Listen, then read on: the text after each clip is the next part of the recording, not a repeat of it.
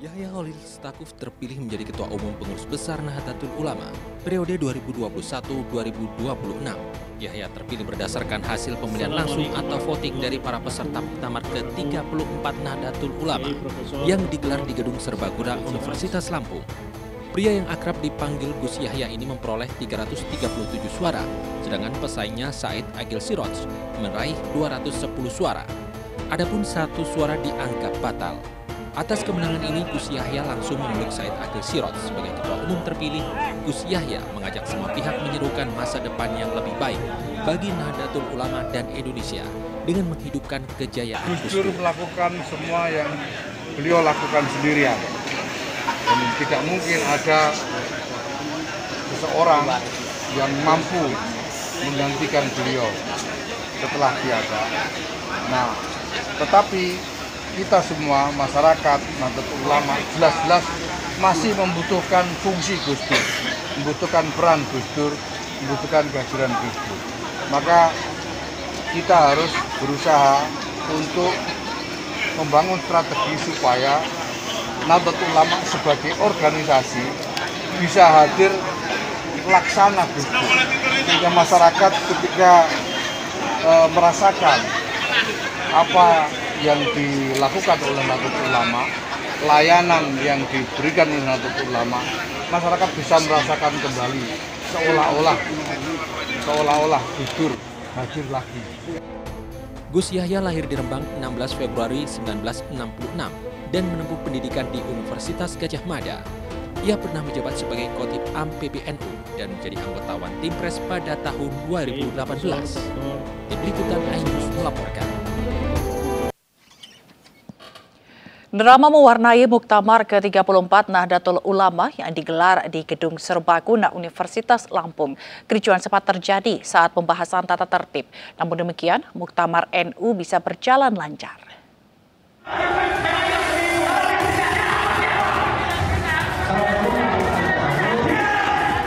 Kericuan mewarnai Muktamar ke-34 Nahdlatul Ulama yang digelar di Gedung Serbaguna Universitas Lampung.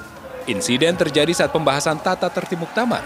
Sejumlah peserta muktamar berdiri dan menyampaikan protes kepada ketua sidang.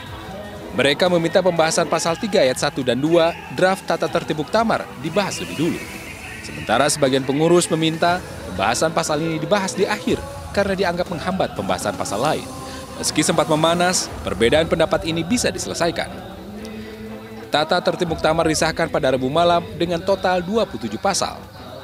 Salah satunya terkait mekanisme pemilihan Rois Am dan Ketua Umum PBNU. Kiai Haji Miftahul Akhyar ditetapkan sebagai Rois Am Pengurus Besar Nahdlatul Ulama periode 2021-2026 melalui musyawarah mufakat 9 anggota Ahlul Hali Wal Akti atau Ahwa. Tugas pertama Miftahul Akhyar sebagai Rois Am adalah menyetujui kandidat calon umum ketua PBNU yang saat pengangkatan Rois Am memasuki tahapan pemilihan. Ya. Dalam pemungutan suara pemilihan Ketua Umum PBNU sempat memanas.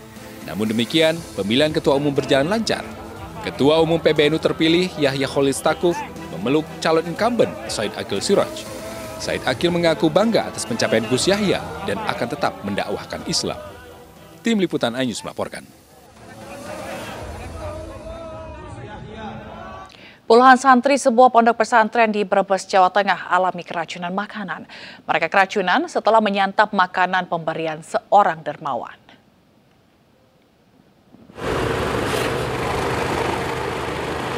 Sedikitnya 50 santriwati pondok pesantren Asalafiyah Bulakamba dilarikan ke rumah sakit setelah alami keracunan makanan.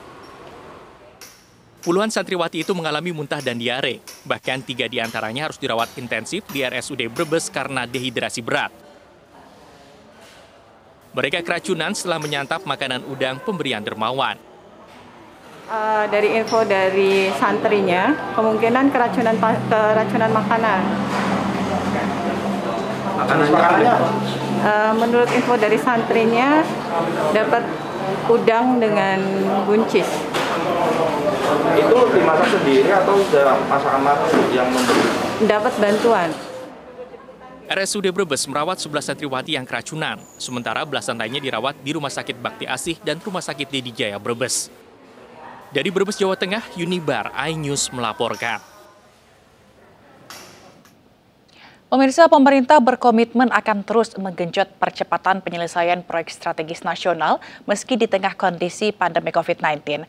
Percepatan ini dinilai penting untuk pengembangan wilayah dan perekonomian daerah serta nilai tambah industri sehingga menciptakan lapangan kerja bagi masyarakat.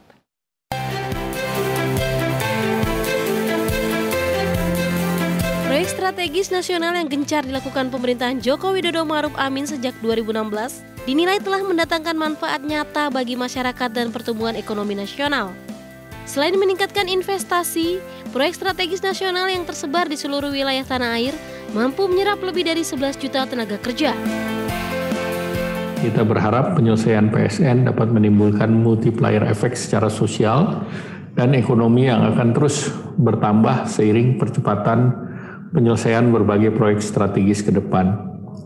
PSN yang tersebar di berbagai wilayah diharapkan bisa meningkatkan kualitas dan kuantitas infrastruktur secara langsung dan mengurangi kesenjangan pertumbuhan pendapatan per kapita dan kesejahteraan antar daerah secara jangka panjang. Percepatan proyek strategis nasional diharapkan mampu mendorong perekonomian Indonesia ke arah positif di masa adaptasi kebiasaan baru. Tim Liputan iNews melaporkan.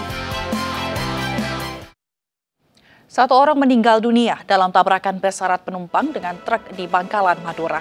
Anies Bala makan kembali usai jeda.